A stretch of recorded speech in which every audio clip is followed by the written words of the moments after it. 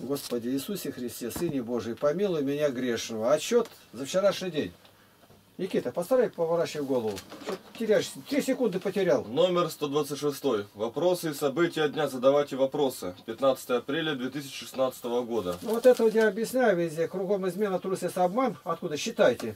Мы считать не будем. Это везде и всюду.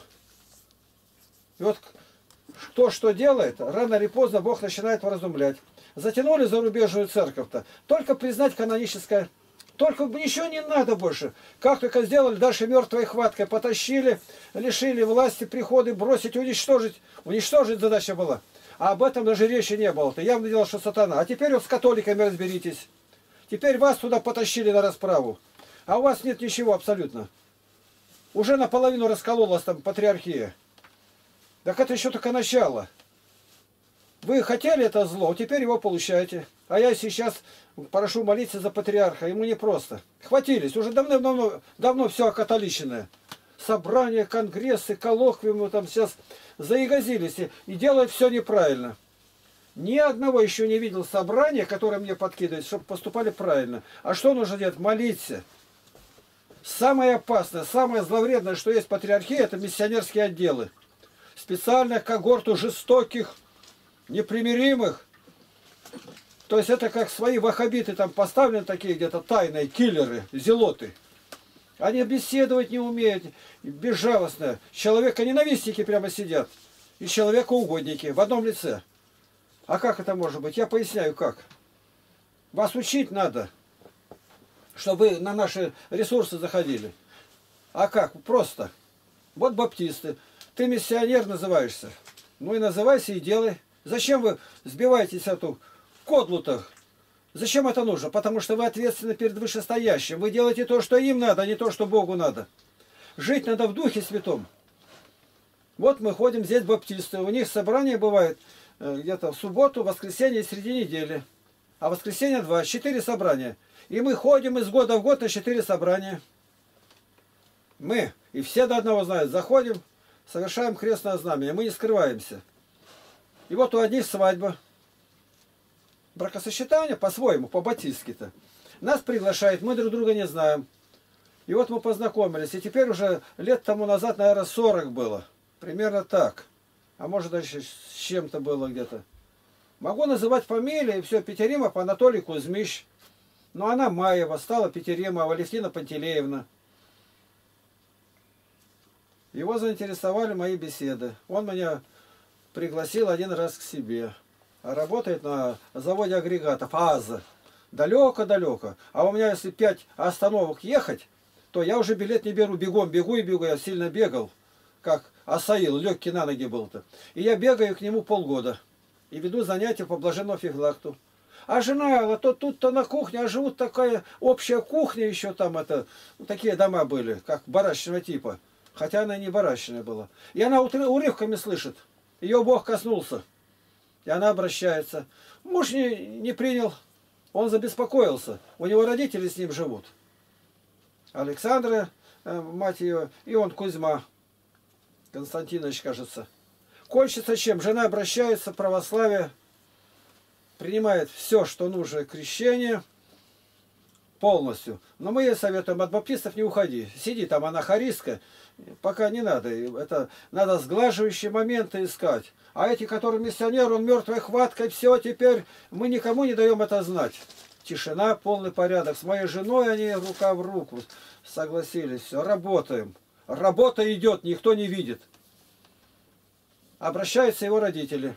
И умирает православие. Две души. Вот это обратилась Алевтина, третья душа.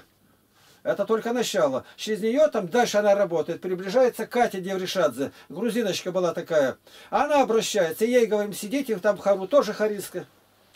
И через них они приводят ко мне на дом отца Геннадия Фаста, Генриха Фаста, Генриха Генриховича, у которого отец там кандидат наук, Вильгельм, другой, дальше целая цепь пойдет. Вот работа миссионерская. Отца Геннадия Фаста в Абакане. Вы найдите здесь, посмотрите. Он магистр богословия Московской патриархии, бывший преподаватель Томского университета. Они ко мне его привели на дом. И вот на нашем форуме зарядите фаст. И вы найдете записано на пленку было, как прошла эта ночь. Пол пятого утра мы закончили беседовать. Он вышел за стола уже православный. Руководитель баптистской молодежи, менонит, немец. Бог делает это, Бог. Вот теперь дальше идет. У этой э, рождаются дети. Старшая дочь, матушка в Томске, отец Михаил Фаст. Это уже через отца Геннадия идет. Его племянник обратился. Теперь дети все верующие. Это все отростки идут вот с той малой, говорится, подвижки нашей, что мы ходили к баптистам. А нас там презирали, толкали. У них объявляют, у нас гости есть, приглашайте на ночь. Выйдут, никого нету. А я стою, он подходит, начинаем говорить. Я говорю, вас никто не пригласил? Нет. Кустов, Леонид приезжал, э, кажется, с Кулуды или Славгорода, или с Павлодара, где-то он тут что-то у него есть. Их свой везде ездил, проповедовал инвалид немножко Отечественной войны. Я приглашаю, я его приглашаю ко мне ночевать. Сразу мгновенно выскочили баптисты, не ходите, это такой на меня. Он говорит, хорошо. Я стою сколько на морозе, никто не подошел. Он первый подошел, отстаньте. Все, они отошли. И теперь он меня ночует. Вот что Бог делает как? Он говорит, я в людях не могу заснуть. Я говорю, заснешь. Считай, что на стене написано. Ты огражден и можешь спать безопасно. Мы беседуем долго. Будильник ставлю около головы, не может проснуться. Встал, я как будто дома был. Теперь он всегда заезжает ко мне. Теперь работа пошла в другом городе. Понимаете, что миссионером быть это призвание, это обратить одного человека, Златоуст говорит, нужно тысячи талантов, тысячи. Не один, не два таланта нужны. А вот это уже Бог делает. Их талант их нельзя купить. Ты не можешь быть поэтом, если у тебя нету этого. Не можешь быть композитором, если нету. Нет, это талант. Ну а дальше что? Дальше Бог делает. А для того, чтобы покрестить человека, правильно покрестить, не нужно Златоуст говорит, ни одного таланта. Достаточно быть рукоположенным, незапрещенным, на этом все. Вот и все. Ни одного и тысячи. А вот теперь дальше это как цепная реакция идет. Только в одном направлении, говорю. Только в Барнаульской, в баптистов я не хожу. Он выходит один и поносит православных. Мельников Иосиф Иванович, пятидесятник. Тогда объединенные были они вместе-то. Мы договорились, а мы сразу встаем, молча, перекрестились, тихонечко встаем и выходим. Как его взяли за него братья А ты что делаешь? К нам приходят люди, а ты их выгоняешь. Да я, да я вот он, он против православия говорил. Наконец мы встаем, выходим, он кричит, Надя, не выходи, подожди, на кафедре. Он был лучший проповедник у них. Пробили чем? Терпением. А тут миссионер, Ему сестра говорит, как над ней издеваются, он в ней вину видит. Это ты виновата, в тебе смирения нету. То есть все говорится с приглядом, кто его создал, это общество миссионерское. Это система, система зла. И руководитель, самый, который больше всех перессорил, это Дворкин. Это и они его любят, уважают, то другое. Это система зла, как дыра в преисподнюю. Молитесь об этом, чтобы Бог открыл вам глаза – Миссионерских отделов не может быть. Нужно, считайте, шестая глава Деяния апостолов. Изведанных, знать их надо, как они живут. Кого избирать? А вот он Царионов, Антео. Чем ходит, занимается? Чем они занимались? Наконец, ну видит, дальше некуда. Пришло время кабанщика резать. Сейчас его заблокировали буквально везде. Сейчас за Дворкина взялись. Он только рождественские сделал там против меня ежегодное какие-то чтения рождественские. Сейчас на него посмотрите, лавина идет, и за рубеж, и все на него поднялись. Он никакой, он может совершенно неверующий, засланец из-за рубежа. И они не видят. И вот это, вот эта кара сейчас пришла. Разбирайтесь там со своими, вам некогда будет за мной гоняться. Пока я живой, вы возьмите добрый опыт. На что вас нельзя дискредитировать, мне говорят. Почему нельзя? Все можно. И Христа дискредитируют, и президента, и патриарха. Но не просто. А почему не просто? Жить надо достойно. Жить. Ну вот он заходит, Григорий Чудотворец. Ну все, в храме подслужил, вышел, стоит с епископом, разговаривает. Женщина подкатила, а вы мне когда деньги дадите? Какие деньги-то? Ну я приходила по вызову-то, путана. Да когда ж ты приходила-то? Ну как приходил, ты чего отречаешься? Да вчера только спали вместе-то. Ну будешь платить или не будешь? А то я расскажу что-то. Он друзьям говорит, узнайте сколько и заплатите ей. А дальше что? Ну, ну явно, что подстроено все было. Подстроено. Притом не один раз. Проделали замок, ее туда запустили, а к нему надо идти. Решили его проверить. Приходит, она у него на постели сидит. Златоуста в этом обвиняли. Ну, Златоуст говорит, а где это было? Ну, возьмите меня, разденьте, посмотрите, да, могу я это делать или нет. Ну, посмотрите на меня. Его, биог... когда образ показывает, говорит, зело худ, опасно. То есть настолько худой, что, и говорит, большая голова на тонкой шее. И его обвиняли. И что, одна разродиться не может? Ну и все дальше-то. А зачем это говорите? На мне это проехалось, на мне. В Новосибирске работаю, бригада строительная, Су-28. И вдруг отправляет нас куда-то, бригаду целую, и большие фотографии. Я говорю, а зачем? Пропуска сделать надо. Я говорю, а почему они большие? Ну, надо так. Меня заинтересовало. До этого, когда нас вызывали особая такая пробивная бригада, ну, работали мы там и в, те, в две смены. Фотографии были маленькие, меня это заинтересовало. Никого не интересует это, меня интересует. Почему фотография большая теперь? А то, говорит, а вы не знаете, что я... Да это военный завод. Военный завод, переоборудование идет. Фундаменты для станков закладывать. Я сразу развернул назад. Даже не зашел в эти цеха. Я говорю, а что такое? Я говорю, я не работаю. Я не участник. Я не воюю и не помогаю воевать. Да вам-то какое дело? Вы сделали, получили деньги, ушли. Нет, это не будет так. Они меня решили подловить.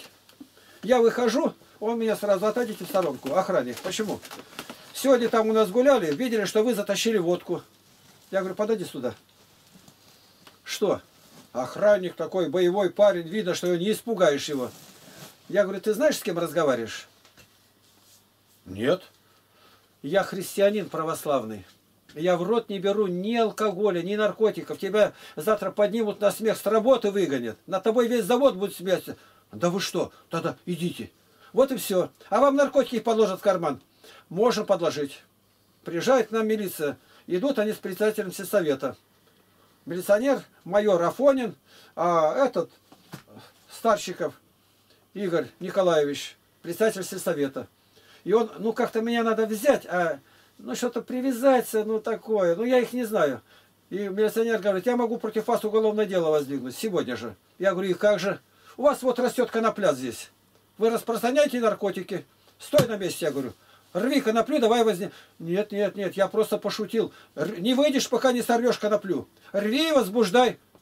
Я говорю, вы были в лагере сейчас? Были. Вы сказали, что занимается педофилией здесь. Да, вы, да кто это говорил? Расслышали это, и мне уже успели, прибежали и сказали, я подаю на вас суд. Я с вами разберусь здесь. Да вы что, да нет председатель сельсовета настолько расположен, и когда утонули в Азовском море, там шесть ребятишек и воспитатель, то а, указание от президента было проверить все детские лагеря. И, конечно, наш православный лагерь. А председатель сельсовета, с которым хорошие отношения установились сразу же, когда пришлось маленько давануть, а он хороший человек-то, там учитель школьный, то другое-то. И он говорит, туда не ездите, не надо. Там все в порядке, там верующие, там обедками не кормят. И никто не приехал. Комиссия доехала 15 километров и до, нам, до нас не доехала. А милиционер теперь за нас везде заступается. Понятно? То есть, в первую очередь, если ты на миссионерское дело идешь, ты должен быть не запятнан. Рыльце не должно быть в пуху у тебя, чтобы не искали, кто куриц съел.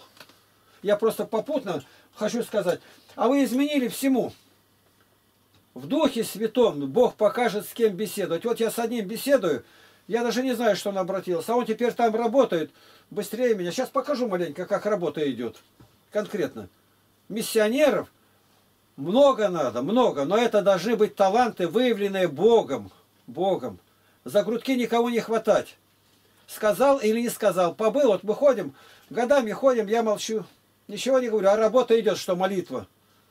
Вот ходили на дом, обратилась семья, Старшая дочь теперь уже от них делается. Ее мать, закоренелая баптистка, Алевтина, это Пентелеева не сказал. И она обратилась по православному умерла.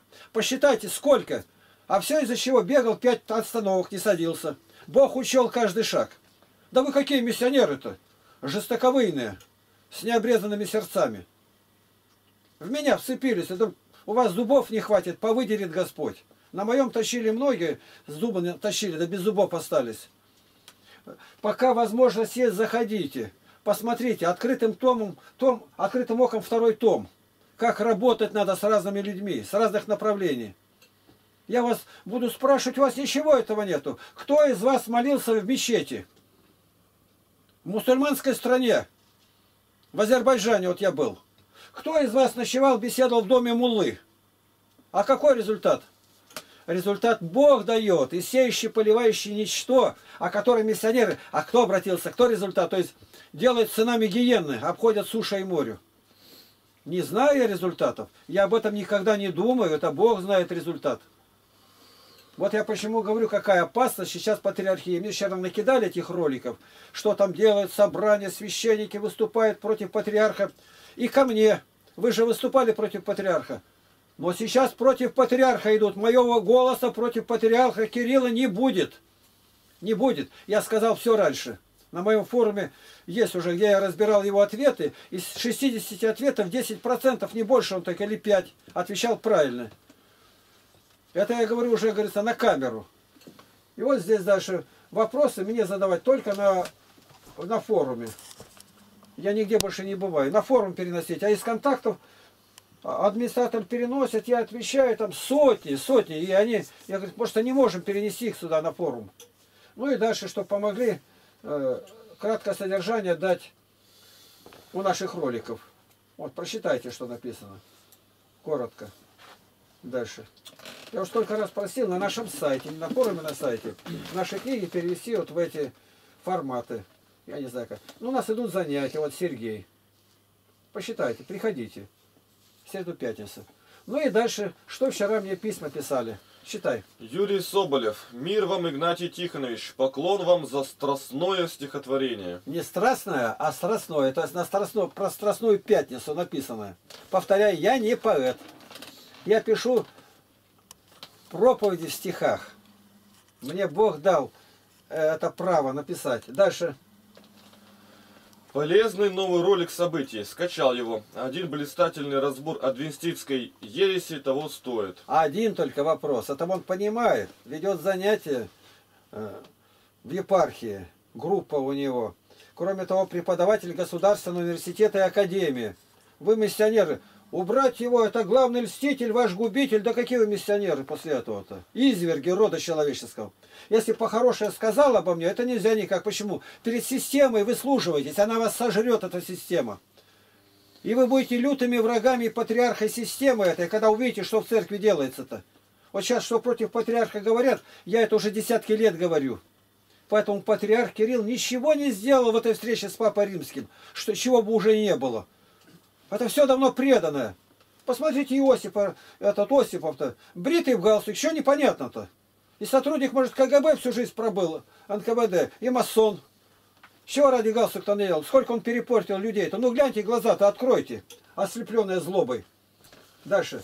Поднял настроение брат Михаил Домнич своим письмом. Вы точно подметили, что он на самом деле человек богато духовный, а да. также внимательный, открытый и по-умному самоироничный. Именно так. Вот это подходит мне. Самоироничный. Чури сейчас начнут меня укорять в хвалебности. Да. Но как сказать, хорошим плохим не назовешь. Вот так. Или в параллельном православном миссионерском мире принято лишь врагов находить и гнобить. И гнобить. Вот тоже гнобить. это понимает. Гнобить. А вы находили врагов среди этих-то? Нет. И вот больше против нас, на, больше всего против нас нападал этот пятидесятник у баптистов, это Радищева 67 они собирались. Но сейчас они перестроили дом в другом месте. Мельников Иосиф Иванович. И что интересно, когда он умер, и мне передали, он умер, и сказал, что на могиле, говорит, тумбочку не ставили, а поставили крест, восьмиконечный.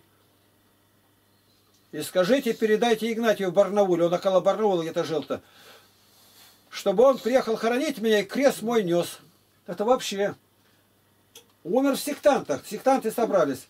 Да главное, идут за мной, и там Толстенко был, Сережа, а я с крестом иду, они просят, дайте и мы понесем. То я впереди всех шагаю на кладбище. Ой, говорит, нет больше радости для Игнатия, как за поверженным врагом, говорит, нести крест.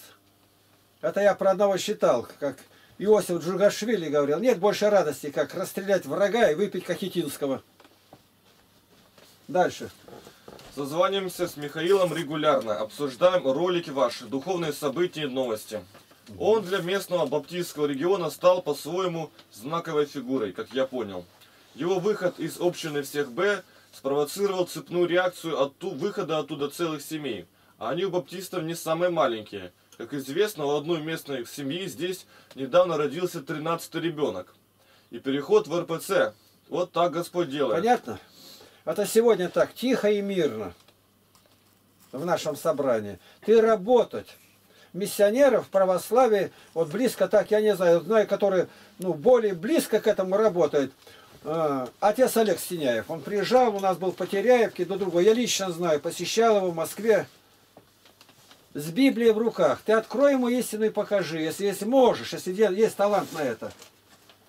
К слову, по этой теме вопрос, Игнатий Тихонович. Насколько чадородие инославных может служить для нас, православных, показателем превосходства нашей праведности? Матфея 5.20. Если сия заповедь, и вы об этом неоднократно говорили, дана человеку в саду Эдемском. Ну как было нехорошо человеку быть одному. Но после этого-то еще что-то совершилось. Это творение закончилось. И вдруг как будто бы перестройка началась. А я теперь творю все новое, Господь говорит. И что новое? Хорошо ему оставаться, как я. И Павел показывает, что одному лучше заботиться о Божьем. Ну вот, а вся одна, незамужняя, заботится о Господнем, угодить Господу. Но она одна, так одна она должна об этом и заботиться, а не думать день и ночь о том, как замуж выйти, а потом не знает, как разжениться. Теперь хорошо человеку оставаться, как я. Уже в Новом Завете не говорится, что человеку одному нехорошо быть. Почему? Господь сошел. Душа делается как невеста, жена Господа Бога, Иисуса Христа. Теперь по-другому. И поэтому вот это щедородие, иногда может говорить просто о невоздержанности родителей. Они не воспитать не могут, не прокормить, ничего нету. Воздержание это. Это может быть признак того, что люди живут только в одной похоти, а может благословенное, как Китай. Мы не знаем этого. Но уже ветхозаветнее вот это здесь не стоит на первом месте. Дальше. В ролике вы рассказывали про свои искушения, о том, что часто именно у вас то топору ведут, то одежду и прочее. А я в этом увидел не столько искушения, но на своей позиции не настаиваю, предполагаю, сколько движения, реакцию людей на и на бытие в мире. Говоря словами богословов и философов, то есть вас, человека, отмеченного Богом, это объективно, это многие чувствуют и говорят. Ну, тут уже не надо скрывать, это Бог избирает, значит, это есть, говорится, с молодых ногтей. Ну и э, да, такое есть. Э, скрывать не надо. Но мне-то от этого неудобно. Работаем, инструмент положили, прихожу, у всех топоры на месте, моего нет. Ну, и не один раз. Да почему именно мое? Мое берете, это почему? А я и не знал. Велосипеды стоят, на моем охота прокатиться. Ну, до того интересно как. Только поехала одна корреспондента, э, приехала здесь, Сохарева Наташа-то, и Платье закрутила у нее в цепь. Она упала. Но я говорю, что, говорит, я второй раз, говорит, закрутила. А что такое за велосипед? Да я говорю, твой, твой грешный зад на моем говорит, святом сиденье не может усидеть. Там тебя сбрасывает какая-то сила. То посмеялись и пошли. Надо иронию еще иметь. Дальше. Это похоже даже на неосознанное действие. Атовизм, как, например, сегодня можно сразу опознать человека из советского прошлого и его реакцию на возникшую стихийную очередь он сразу туда устремляется. Хотя ныне дефицита продуктов и вещей нет. Ну, а я помню, в Москве было так. Стоит большая очередь. Вот это синдром советского совка. Ну, думаю, у меня тут завелось несколько рублей, я сейчас куплю. Стал в очередь, стал, постоял маленько и говорю, а зачем стоят? Да кого он мужчина тащит-то? Туалетную бумагу дают. Туалетную? Мне казалось даже сказать туалетную бумагу, и то это уже стыдно должно быть. Я потихоньку выхрался из очереди и пошел. Так неужели не открыто? Открыто! Отец меня привез, когда я лечила, лечили, лет шесть было в Барнаул-то. И он ушел там по своим делам, инвалид. А я дома сижу, надо в туалет сходить, а туалет видно где, но днем. Я до вечера не выходил. Я пойду, а меня увидят, куда я пошел, и догадаются, зачем я пошел. Ребенок, я не мог, мне до того стыдно было. Стемнялось, отец вернулся, он меня сводил в туалет. Это в человеке закладывать надо. А сейчас через такую перегородку, на около кухни рядом, совесть потерять надо. И все это нормально. А дед Щукарь говорит, я люблю сидеть под солнышком на огороде, чтобы ветер обдувал. Так, возможно, и люди те, беря ваши вещи, неосознанно желают приобщиться и вашей свободы, веры, любви. Вот заметил, главное, моей свободы. Как Бог делает? Какой свободы? Такой свободы, вот как наши общины, нигде нету больше. Нигде. Это Бог так делает. Мы ничего не делаем, Бог просто отрезает, убирает лишнее, и все, иди. Чтобы Божьи таланты без всякого давления сверху, без всякой системы обращались. И хорошие отношения с, с патриархией, со всеми, Бог так делает. Еще? К тому, что в современном мире является дефицитом, храни вас Господь, обнимая. Сердечно благодарю за стихотворение Игнатий Тихонович.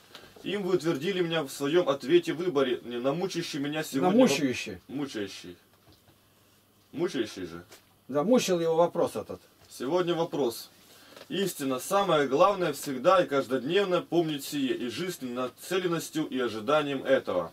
Жених грядет, мы слышим этот крик. Это строчка из моего стихотворения. Дальше. Райхан, добрый день, Игнатий Тихонович. На следующей неделе батюшка повезет меня креститься в Покровскую церковь. Там большой баптистерий. Бесплатно, благословите, пожалуйста. Понятно. Она у свидетелей Иеговы была.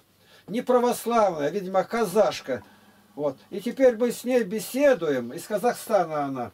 И вот смотрите уже какой результат. На всего познакомились, ну, месяца два-три назад. И дальше. Я отвечаю. Дорогая Раиса, заранее договорись, чтобы в воде было абсолютно полное погружение. И руками ни за что не цепляйся, чтобы была крещена вся. Не было ахиллесовой пяты, не погруженной части тела. Куда враг будет стрелы греха вонзать? А что такое ахиллесова пята, знаешь? Конечно, знаю. Объясни, что такое? Ну, в общем, Ахиллес был такой знаменитый герой. Его мать э, в какой-то речке она его окунала. А зачем? Ну, чтобы он стал неуязвимым. Так. И она держала его за пяту, и она его окунула полностью, а пята осталась в руке у нее, как бы. И она осталась не окунутая в эту воду, и туда его поразил Борис, ладно. по-моему. Ну ладно, дальше, что? понятно. Стрелой это. Дальше. Я заботься, чтобы все крещение было полностью снято на фото и видео. Бог вам в помощь, но к нам все равно приезжай. Она до этого говорила приехать в Потеряевке принимать крещение. Я сразу сказал, все тогда. Теперь она отвечает. Э, Спасибо большое. На следующий год с внуком в лагерь постараемся приехать. Да, имя ему, имя приму Раиса. Она Райхан, а теперь, ну Райхан-то не может быть, а по календарю. А есть ли у вас о Раисе аудио? То есть меня все жития насчитаны по Арабии. Я тут уже все дела отставил, календарь открыл, полез сюда, где-то нету. Не насчитанное. Так, я считаю. Она числится в календаре как Ираида. Я насчитывал только те жития, которые не меньше по объему, чем полстраницы. Нет, это я неправильно сказал. Я насчитывал-то все, но в каталог внес. В каталог, вот как надо было. В каталог. В каталоге у меня Раисы нету. Насчитывал все, самые маленькие. Даже три строчки насчитывал. Так, А у Ираиды, Раисы, житие Дмитрия Ростовского за сентябрь месяц вовсе крохотное житие. И потому ее у меня в, в аудио нет. неправильно я ответил, неправильно. Я потом только понял, когда посмотрел, как это, я еще пропустил. Да нету. Нет у меня его в каталоге. В каталоге нету. Вот ее житие. Память святой мученицы Ираиды. Святая дева Ираида жила в Александрии. Однажды, выйдя к источнику, чтобы почерпнуть воды, она увидела корабль, приставший к берегу. На всем корабле находилось множество девиц, мужей, иереев, диаконов и иноков. Все они были заключены в оковы, ибо за их исповедание имени Иисуса Христа везли на мучение. Внезапно Ираида возгорелась великой любовью к Господу. Отбросив водонос, она добровольно присоединилась к узникам Христов. По прибытии корабля в египетский город Антиополь, святая Ираида, прежде всех других, претерпела жестокие истязания и была усечена мечом. А после нее и все прочие своей кровью запечатлели свое исповедание веры в Иисуса Христа. Святая Ираида скончалась около 308 года. Вторично память ее с именем Раисы празднуется 5, еще 5 сентября. Память святой мученицы Ираиды. Ну вот и все житие. Я тоже нашел и ей послал. Вот это идет тихая, незаметная работа. И дальше я А, ну, отвечаю. А к нам в этом году собирайся 10 июня 2016 В лагерь детский 10 июня открывается, а 10 2016 июля будет года. крещение. Она уже приедет крещеная. А то Бог знает, будет ли следующий год. Раиса переводится как легкая. Второе царство. А Саил же был легок на ноги, как серна в поле. То есть она должна быстро везде поспевать. Ну, была такая, э, считаем, э, апостол Петр воскресил ее. Помните? Серно назвали. Кого? Ну, Ну как кого? Кого? Так и назвали. Ну какую? Какая-то девица-то умерла. И Петр пришел и склонился и стал молиться. Она шила рубашки. И они все плакали. Так в чем вопрос-то? Именно. Что за девица, как ее жда- звать было? На Она нем. была легкая, ее Сер назвали. Серна, то есть она легкая, везде бегала. Ну, Тавифа. а? Тавифа? Да, конечно, Тавифа. Тавифа, Серна. М. И вот Асаил я ей взял. Что значит легкая? А теперь ей даю, чтобы она а вот, а знала, что легкая и дальше. Иов, дни мои быстрее гонца, бегут, не видят добра. Несутся, как легкие ладьи, как орел стремится на добычу. То есть легкие слово легкая, Раиса. Я выбрал только два места Писания есть, которые подходящие ей. Вот такая будет легкая везде. Так, Райхан, Если к вам ехать, то зачем мне здесь креститься? я отвечаю. Не знаю, сама смотри. Тогда подожди. Осталось уже совсем рядом. Крещение у нас будет 10 июля 2016 года в озере Пруду. Тут уже все будет по канону, без ошибки. Райхан. И мне тоже к вам хочется. Тогда я тут отбой сделаю. Игнатий Я, Лав- я отвечаю ей. Думай хорошо, чтобы не жалеть римлянам. Ты имеешь веру, имей ее в сам себе, перед Богом. Блажен, кто не осуждает себя в том, что избирает. Видите как? Какое отношение к человеку. Не настаиваем, она должна принять решение. Дальше она отвечает. Да мне муж тоже говорит, езжай лучше по Теряевку, ты уж даже давно туда наме- намерилась. намерилась. Дальше. Я не знаю, почему у меня вот это вот другой шрифт пошел, Володя. Надо будет хорошо высветить. Я одно стихотворение вчера за- написал, как бы ей она обращается теперь. Я пишу. Это буквально все так у меня и было. Каждое лето с мамой вдвоем веники режем из веток берез. Кромкая околка, неспешно идем, будет на веники спрос. Я ухвачу и сгибаю к земле, если березка по силам. Так отпластаем. Оставим скелет. Режь заодно и на вилы, на черешок вилам. И говорим, уже так повелось, может, последний разочек. Здесь я побыл, отгасил, словно гость, и до свидания, сыночек. Сколько за день разговоров у нас, больше о вечном, духовном. Как это дорого, близко сейчас, в камере с вонью махорки. То есть я это пишу в заключении, когда был арестованный. Мама на пчел загадала о вере, там у нее 25 колодок. Как бы моя там колодка была, если приказчики случится, во-первых, с этой семьи больше всех собрала. Ну, пчелы-то не знают, она загадала. Значит, Игнатий на верном пути. И во-вторых, ей одуматься надо. Незачем нам на урывку идти, там старобрядцы, беспоповцы. В споре отстаивать взгляды. Я ее не потащил ни патриархии никуда. Ближе всего старобрядчество, значит, белокреницкую иерархию. Там есть иерархия. Все остается то же самое. Вот это щадящий режим миссионера. Эти не знают сегодня, они как волки рыскают. Делают вдвое худшими себя. Дальше. Мама Надива, семья молодая, семья это семя называется пчелиная, а делал колодку я сам, медом залила, такое задание. Слышали нас небеса. Мать, говорит, такого не видала. Она пчеловод, в колхозе была пчеловодом с детства. И такого не видела. Только покачает два дня, все переполнено. А колодку сделал, ну я грубо так делал, там колодка-то такая-то. Она оставляет только опять пустые. Все оттянуто, опять залили. Ну, мама говорит, надо идти тогда в эту деревню, где их там старшие были, беспоповцы, киржаки. После мы все же, по маминой просьбе, шли по грязи на урывку. Праздник октябрьский, было морозно, грязью дороги покрыты. А Она от нас 10 километров, там 8 считалось напрямую. Все же дошли, маме очень хотелось тех грамотеев найти бородатых. Но тут такое случилось дело. Все по гулянкам сокрылись куда-то. Старобрядцы любят выпивать, но только со своей кружкой, чтобы ходить. Так мы ни с, ни с чем повернули обратно. Солнце проглянет, даруя улыбку. И я запел про скорбящего брата. Слышала мама, забывшую урывку. Слушала. Что она думала, после мне скажет. Будто бы полок кто снял с головы. Песня же эта на душу ей ляжет, а петь я совсем не привык. Мама впервые просила, чтоб пел. И всю дорогу до дому Пел во весь голос, что знал и умел, казалось о маме все новым. И после она говорила не раз, как будто на свет народилась. И слезы текли благодатно из глаз. К отцу эта дочь возвратилась. Мать моя, мать героиня, мать десятерых живых детей только. На память считала я о Боге стихи, то Новый Завет доставая, обильно вливалось святое в мехи, на новое все заменялось. А я видел маму совсем не такой, а юной подругой, сестрою. Коснусь ее неже своей рукой, в душе ликования не скрою. И чудо! Она, позабывши года, свой возраст, усталость, морщины, сказала, что старость ушла без следа, от щек пожелтевшей вощины. Воск, который вставляют, чтобы натягивали.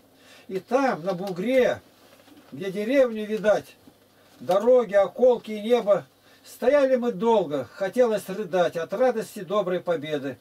Это было 24 сентября 86 года, тюрьма, так. Вот это стихотворение я дал этой Райхан, а она пишет, читай, Тронуло до слез. Спасибо вам, батюшка, вы мой духовный. пожалуйста. Вот уже она мне какое название дает.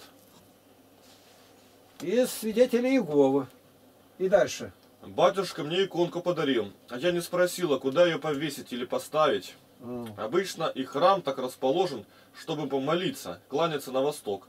Но в доме это не поставлено за правило. Но так, чтобы, как заходишь в комнату, иконы были в переднем, красном углу, как принято называть это место. Только зашел, сразу видно, что это православное жилище. И тут же три поклона поясных с Иисусовой молитвы. Хозяевам говорят «Мир дому сему». А хозяева отвечают, если они христиане, с миром принимаем. Для икон делают полочки или ставят на подходящее место, как на тумбочку, или просто на стене закрепляют. Понятно, видите, сколько я время потратил на нее. Вот это вот, вот это э, миссионерская работа такая должна быть. Тихая, медленная, в тихом веянии ветра. А не то, что там ходил этот Сарионов, НТО, с кирпичом бить окна и одобряет Смирнов. Так и надо сектантов громить, бить. Да это не экстремисты, шовинисты, это сатанисты самые настоящие, православные сатанисты. Вот эти отделы миссионерские. Юрий Соболев. До слез, Игнатий Тихонович, буквально. Я помню, вы рассказывали об этом обращении своей мамы. Дальше их один новый пришел. Георгий Юрий Серебряков. Премного благодарен вам за ваши ответы на мои вопросы. Спаси Христос. Ими вашими ответами вы разрешили мои некоторые сомнения и вопросы, которые возникли у меня по поводу сдачи крови. В свете Библии на данный момент до 30 апреля 2015 года до Пасхи до 1 мая нынешнего года являюсь добровольным помощником настоятеля по социальным вопросам прихода в честь святых царственных мучеников. Даже по социальным вопросам должен быть изведан в Духе Святом. Раздавать где-то что-то кому-то. А уж про миссионер не говорят. Это высшее. Это талантами Бог награждает. И никаких семинарий нет, а только вредить тебе будет. Спаси вас, Христос. Дай вам Бог крепости телесной и здоровья души. Юрий Соболев. Сегодня у нас на занятиях один брат делал интересный доклад о современных переводах Библии. Искажений множество. Создалось устойчивое понимание, что этими новыми переводами готовится приход Антихриста, лютый экуменизм. Проще говоря, верно вы говорите и повторяете, лучше, поэтичнее и глубже синодального перевода нет. О, всегда. Не читайте даже другие переводы. Сожги их, Зина, в печку. К слову, протестанты некоторые, издавая сегодня синодальный перевод, и туда в некоторые места вставляют свои варианты перевода. Я сегодня держал их в руках, эти издания, так что надо быть очень осторожными. Если интересно, я скинул вам часть материала в сравнении на почту. Сюда не могу прикрепить файлы. Он скинул, я их перекинул к себе, перетянул, скопировал, но у меня они не вскрываются. Видимо, неправильно что-то делаю. Михаил отвечает. Вы, Игнатий Тихонович, рассказываете о своей маме, но неудивительно то, удивительно то, что читаете строки, я вспоминаю свою маму, и в этих воспоминаниях чувства сродственны у нас. После крещения Потеряевки она прожила еще три года. Но эти три года она прожила другой жизнью. У нее как будто пелена спала с глаз. Мы с ней стали Я с единомышленниками. ней встречался. Как она встречала. Во, вообще. Чтение Библии, обсуждение, молитва. В церковь вместе ходили. И еще она простила тем, кому до этого долгие годы не могла простить. Она Вот миссионерская работа. Михаил обратился через пленки. Хотел приехать по Теряевку, я ему запретил. Зачем это нужно? Не надо. И только при настойчивости его на третий раз разрешил. А через него уже там пришла и Нина, и мама, и там Галина. Скольких людей привел. Вот это работа миссионерская это. Вы этого не знаете, понятия даже не имеете об этом. Горе-миссионеры с Дворкиным. Она говорила сама, что стала понимать Евангелие. Чтение ее стало осмысленным и с рассуждением. Познал вместе с мамой радость доброй победы. Мне это близко, очень. То, о чем стихотворение Ваша. ваше, да. Ну, и вчера с Сергеем Козловым беседовали. Я эту беседу назвал, большая беседа, чуть не полтора часа. И я назвал ее вот так вот. И вдруг на это ответ. На Дмитрий- ролик я его выставил уже. Он у меня закачался 6,5 часов. У меня медленно работает все. Дмитрий Игоревич, смотреть пока не буду, посмотрю на канале Сергея. Нравится, как он видео оформляет. Сергей Козлов, он себе закачивает, я себе. И он там что-то там делает, и он что очень красиво делает, а я не умею делать. И он когда мне сделал такое, там музыка идет, то другое, у меня то одного не слышно, то другого, и мне пришлось отказаться от этой системы. Отказаться. Дальше. Но посмотреть хочется, что там в эфире. То есть, но у того, что я делаю, есть, а, есть тоже преимущество свое. Почему? Без купюр. Все как есть. А бывает именно вырезанное, кому-то именно тому это и надо. Я доверяю, скажу, я вообще ничего не вырезаю. Поговорили, выставляю и все. Александр Марьясов, Игнатий Тихонович, благодарю вас. Игнатий Тихонович попросили, чтобы вы помолились о болящем Марке, 6 лет, лейкоз. И родителей его, Артема и Елену. Уже помолились. И тут вот и еще какой вопрос. Спросили, а можно помолиться о болящем Мухаммаде? Маленький мальчик, возраст и диагноз такой же. То есть в больнице, видимо, мусульмане там есть. И, Господи, и Мухаммада, пощади этого, обрати. Наставь, излечи, если угодно тебе. Дальше. Знаете, Игнатий Тихонович, вчера приехал в православную школу забирать свою подопечную. И То там, есть он работает, это, видимо, платит за это, за девочкой. и там общался с родительницей Надеждой, которая пришла за своей дочерью Софией. Я часто разговариваю с ней о Спасителе нашем Иисусе Христе и о вере с православной. Мне всегда хочется благовествовать о Спасителе нашем, независимо где я нахожусь. У них, у их дочери Софии, диагноз сахарный диабет. Надежда мне рассказала такую историю, что год назад, когда Софии было еще 6 лет, они с своей семьей поехали в машине, и папа ее говорит, вот, мол, Соня, если бы ты не болела, мы бы поехали туда, туда-то, туда-то. А затем наступила пауза в машине, и через некоторое время София, подумав, сказала им, мама, папа, ведь благодаря моей болезни вы поверили в Бога. Вот как размышляет шестилетнее дитя. Игнатий Тихонович, помяните и Софию в своих молитвах. Братья Володе и Никите низкий поклон. Спаси Христос. И вот которые люди, там миссионерский отдел, узнают, что к нам хорошо относятся кто-то, это неправильно, они вас губят похвалами. Ну, если ты ради похвалы живешь, это во вред будет. А, а если ты нормально воспринимаешь-то, ну, есть друзья, есть враги. Ну, вот наша страница в моем мире. Тут такое дело. Попросили наши беседы, они в первый, шестой и девятый том открытым оком. Беседов по, православ... а, а разные, на разные темы Потеряевке я беседовал. Ну и выставляем все. Насчитываем, насчитываем, насчитываем. 123 беседы. Мы должны закончить, думаю, завтра или сегодня даже. Никита считает, считает. Я вот тут подправляю даже, где... и, Ну, не так, как есть. Считаю, что без интонации нужно, там, без эмоций. Ну, вот просто лучшего нету. Никого сейчас и так, что... Прости. Но дело в том, что теперь нам вставляют их, они под замком. Я снимаю. И когда снимаю, то они не выходят на видеоканал, на первое место-то. Вот вчера смотрел, был номер 23 на 107 месте. Ну, надо найти дальше. Но я их переношу сюда. Вот они где у меня здесь. Это какой номер? Вот она, во, во. 24. Почему-то без этой, ну, бе- без снимка-то. 24 занятие. С видеоканала я переношу на это вот. Они здесь. А там их надо искать. По, по порядку. Первый, второй, третий, 24. Но они, не, кто сегодня не знает, он их не найдет. И надо далеко там дальше идти. 24. Ну вот это понятно уже. Дальше. Вот заходит человек. Это э, в наш, вот он, как православный наш форум. У нас форум, сайт, все называется во свете Библии открытым боком, одинаково. И вот он тут все это говорит. Ну, маленько прочитай здесь это добавление. Добавление. Последнее. А, Бог знал развращенный ум человеческий и заповедал дословно, книга Второзакония. Твердо держите в душах ваших, что вы не видели никакого образа в тот день, когда говорил к вам Господь на Хариве из среды огня, дабы вы не развратились и не сделали себе изваяние. Понятно, о чем речь. То есть, вот человек, как его звать? Симон или Симон. Симон, Симон там, или Симеон, Семен, как угодно. И речь идет об иконах, что иконы а, приравнивают к идолам. Ну, зайдите в нас на форуме, вот здесь вот, я сейчас покажу, Володя, там сделать как общий, вот, общий поиск, вот справа. И сюда ткните, и выйдет рамка, икона посчитания, там все отвечено, иконы не идолы. Это грубейшее заблуждение сектанства, узы взгляда на истину. Я просто вопрос сейчас бы был, он рядом, я спросил, скажите, Христа признаете за Мессию, за Бога? Он сразу да. Я его знаю, мы разговаривали с ним. Ну а дальше вопрос просто такой. Он мог солгать.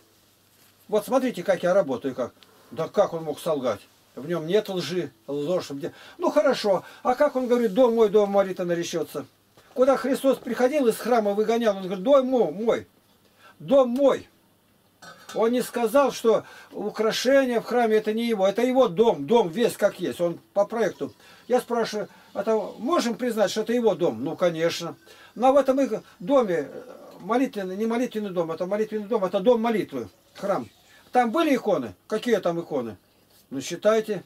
Иезекииль, 41 глава, 17 стих. От пола, от потолка, снутри и снаружи иконы было, изображение икон. Вот и все. И поэтому у нас иконы, потому как Господь показал. Тогда были херувимы на небо, они и в храме изображены были. А души на небе не были. Теперь души, взятые на небо, ныне будешь со мной в раю. Теперь их изображение у нас в храмах. Православные храмы все с иконами по образу небесного. А у сектантов по образу могильного склепа. Там ничего нету. Мертвого. Вот и ответ. Ну и дальше.